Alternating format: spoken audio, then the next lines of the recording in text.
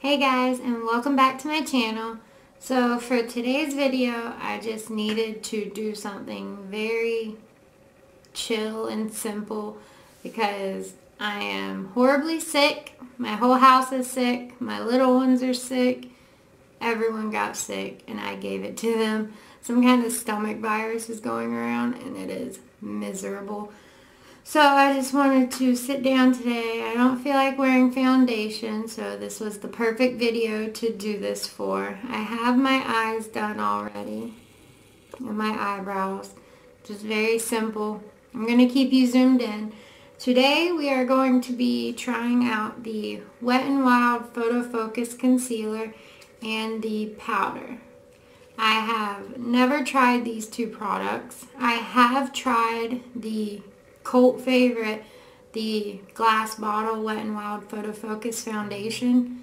I absolutely hate it. It does not work with my dry skin at all. Like, whoops. Like, at all. It looks horrible. I have not tried the stick foundation yet. I really want to because usually stick foundations are dewier and that's what I need.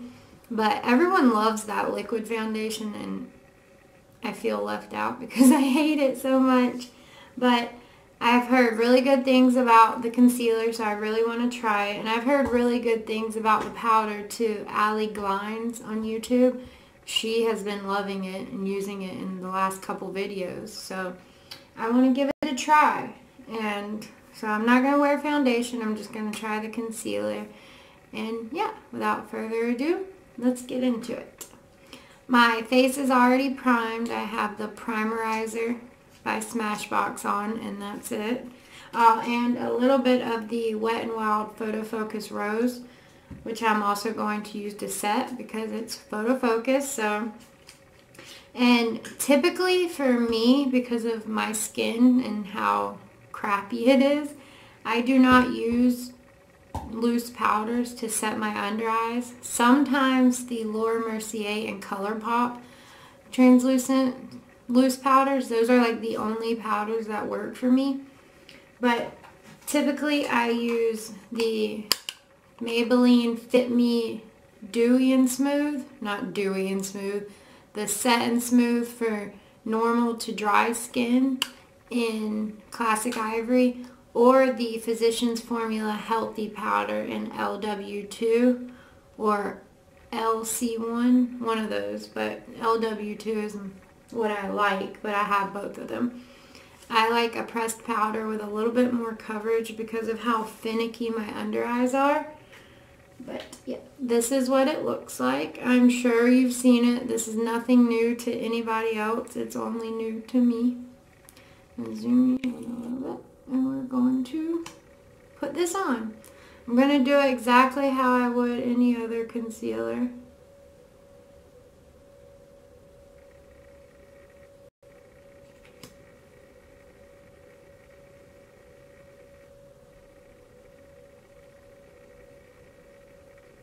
Not a lot comes out on the doe foot.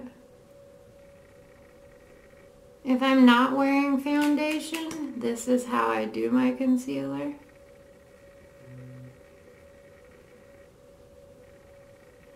Yeah, not a lot comes out at all.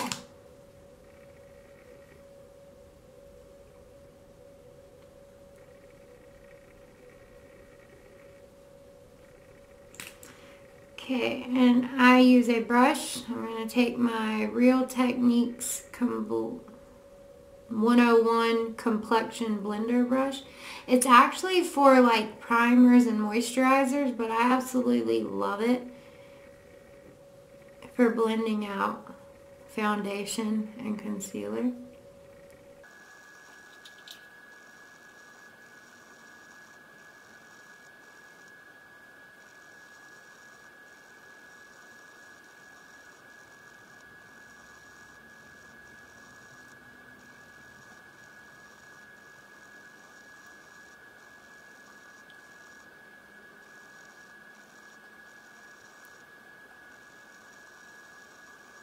Wow.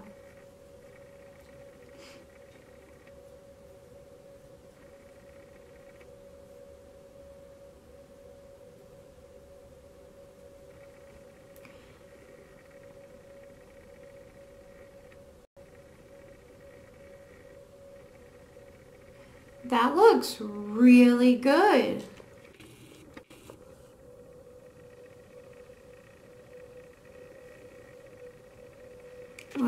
It's not clinging onto my dry patches.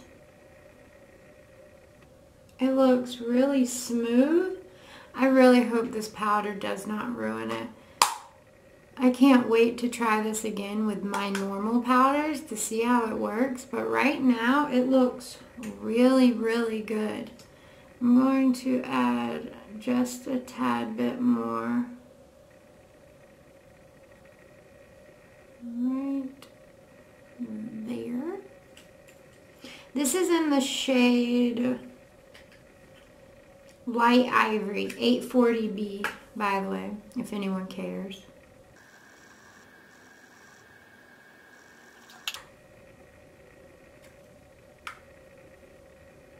That looks so good. Okay, so now I'm going to take this ginormous powder.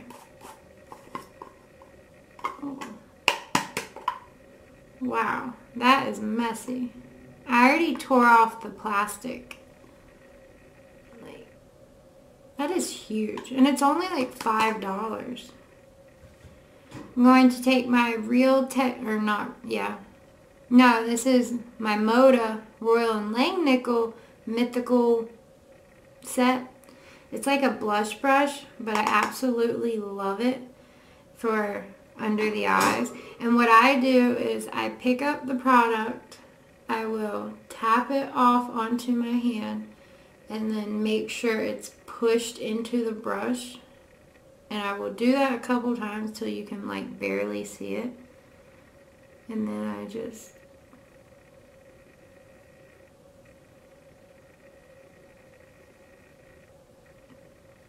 gently, gently wisp it under my eye. Hmm. That's not looking too bad either. Let's do the other side.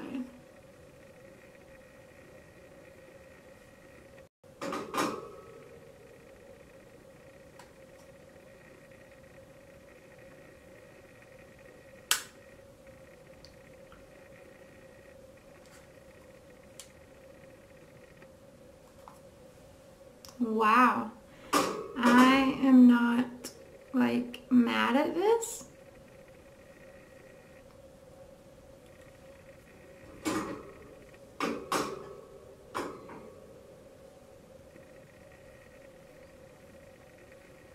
I'm just doing the same thing to the rest.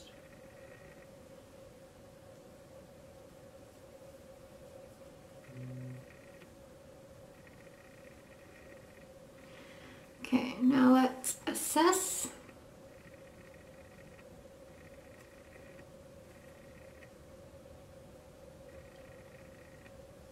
That looks really good. Like, really, really good.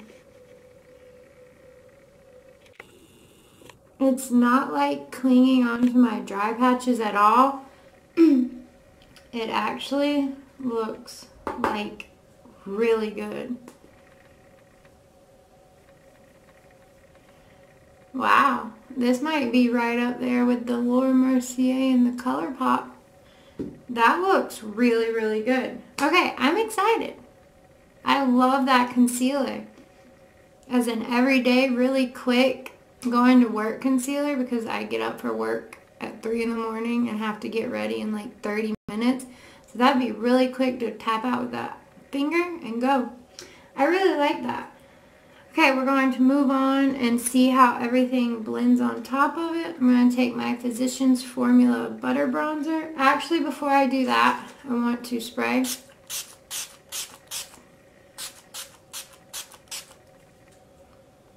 Oh, where's my fan?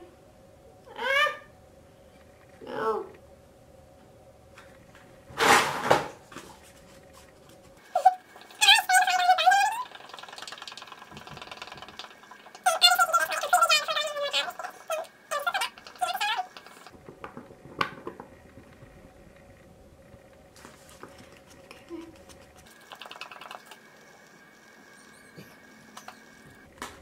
Let's see how it looks after spraying.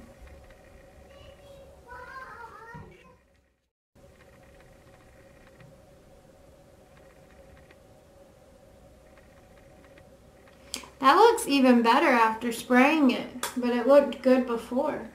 Wow. So again, I'm going to take my Physicians Formula Butter Bronzer in Sunkissed and just bronze up my face. Just very lightly. Well, lightly for me.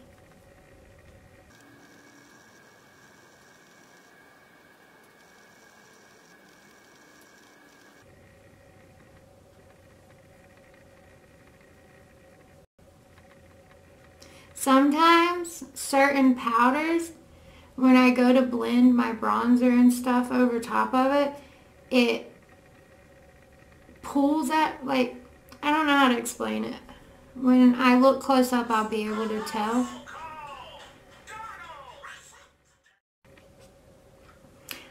Yeah, like I said, so sometimes certain loose powders, when I go to blend my blush, bronzer, and stuff over it, it ends up like, I don't know how to explain it. It ends up looking like really funky and just leaving like little craters in my face. It like pulls up the foundation, concealer, whatever I have underneath. And it just ends up looking really funky. So when I look close up, I'll be able to see if that is doing that.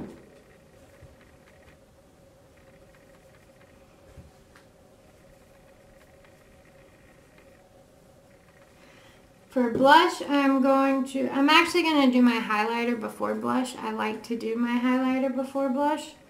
So for highlighter, I'm going to take my ColourPop Super Shock Cheek in Flexitarian.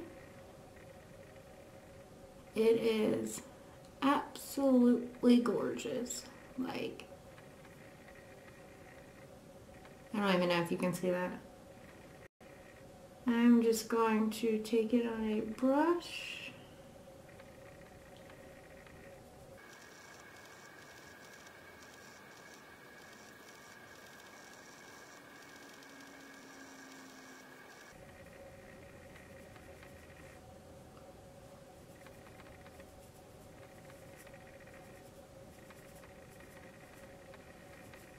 Sometimes I feel like this might be a little too gray toned.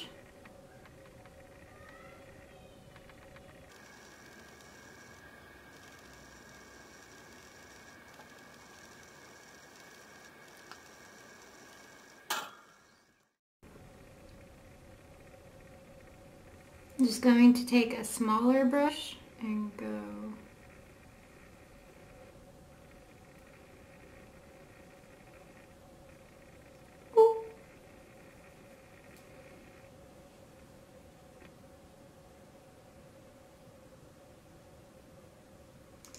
Sometimes these Super Shock formulas are hard to work with. Sometimes. With a brush. Sometimes they're not.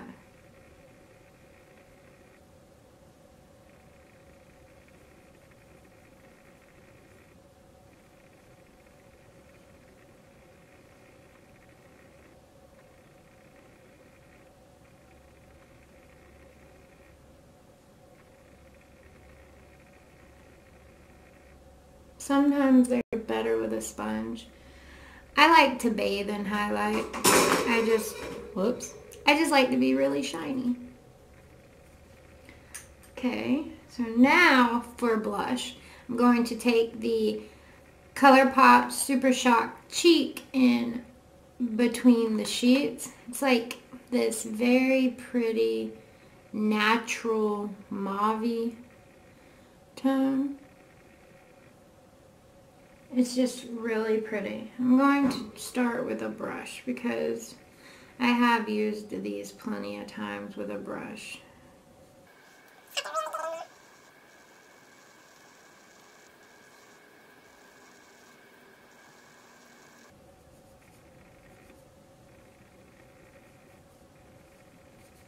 Oh, I just got a notification. There's a new Tati video.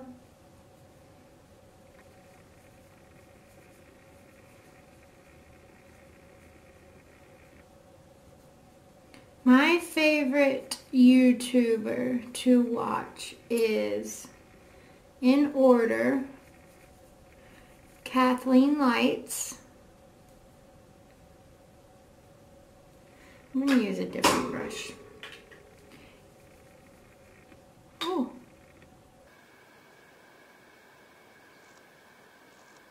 Tear my eye. Okay, is Kathleen Lights and then Raw Beauty Kristi and then Tati and Manny. Definitely Manny.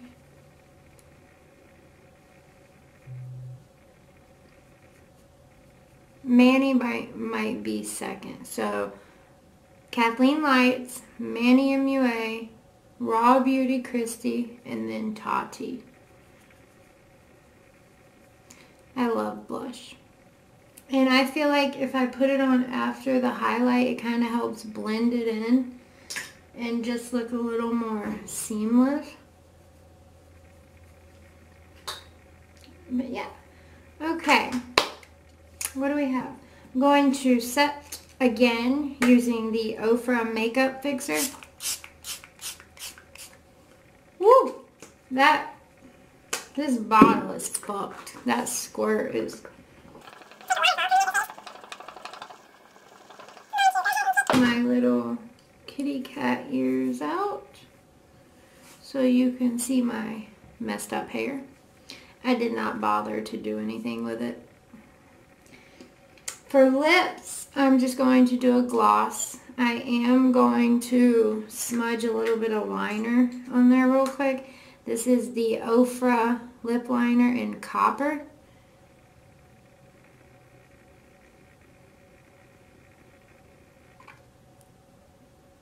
And I'm not being very precise.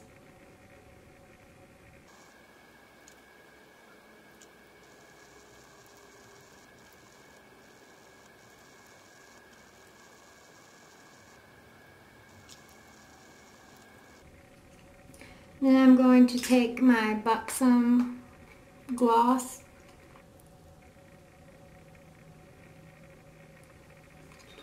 in Dolly.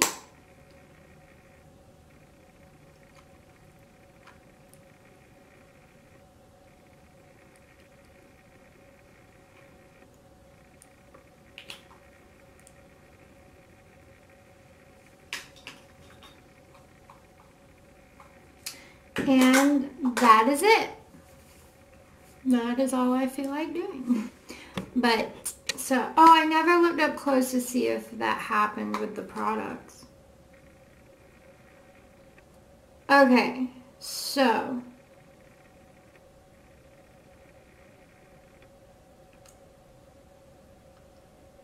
I love when I have a highlighter mustache. It just makes me so happy. Okay, so I fucking love this concealer and powder. Like, I truly, truly am obsessed. My go-to concealer right now is the ColourPop one, and it's a little matte. But with the Physicians Formula powder on top, it comes out really nice. Or the Flower Beauty Light Illusion. I love those. This is making its way into the really up early for work drawer. I really like it. Like it did not make those weird little things on my face like I was talking about. And I really, really like it.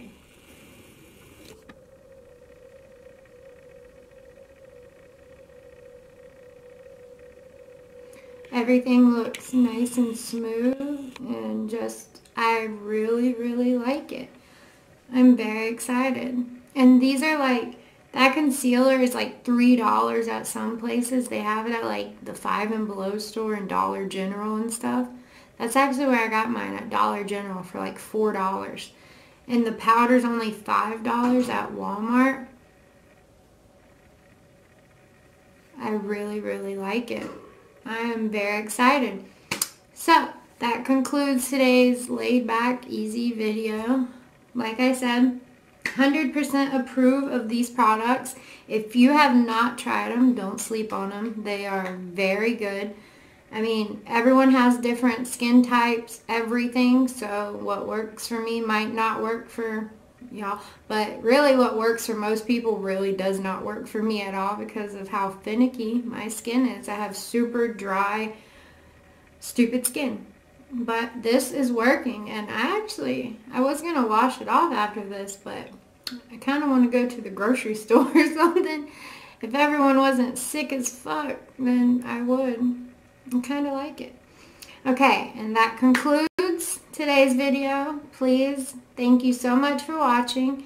If you like this video, if it helped you at all, please give it a thumbs up. And if you wouldn't mind, subscribe. If you don't want to subscribe, then don't. That's on you. Rude. But please go and watch my last two videos. There is a giveaway going on that ends this coming Thursday. Yeah, the 16th. So this coming Thursday.